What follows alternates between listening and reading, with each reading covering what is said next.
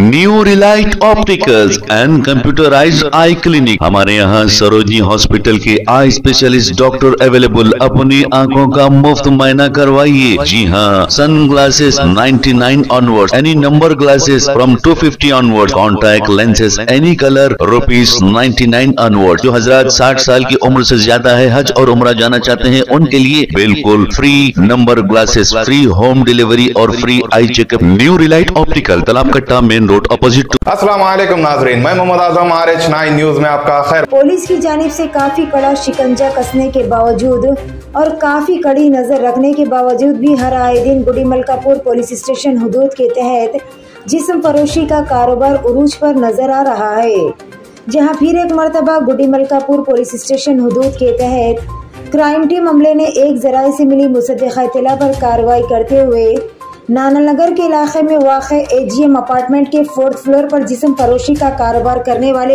एक गैंग का पर्दाफाश किया। यहाँ पर इस्पात सेंटर की आड़ में गैर कानूनी सरगर्मियाँ अंजाम दी जा रही थी।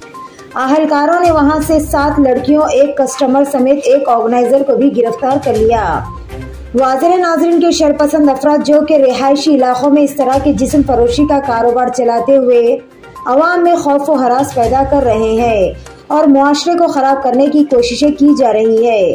बहरहाल पुलिस ने इस सिलसिले में एक मामला दर्ज करते हुए मजीद जावियों से तफ्तीश भी शुरू कर दी है।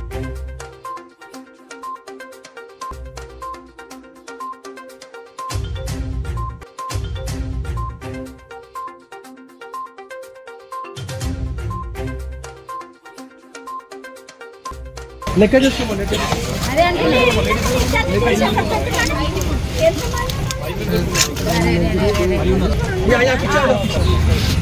ఇంకా కూర్చో బాబు ఇంకా కూర్చోవా ఈయన బయట బయట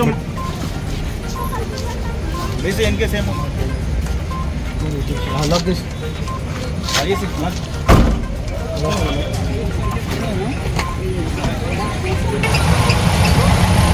नाजरीन इजाज़त दीजिए और बने रहिए हम सब की आवाज़ आर एच नाइन न्यूज़ के साथ। चैनल को सब्सक्राइब कीजिए, वीडियो को लाइक कीजिए, जितना हो सका ज़्यादा से ज़्यादा शेयर कीजिए। खुदा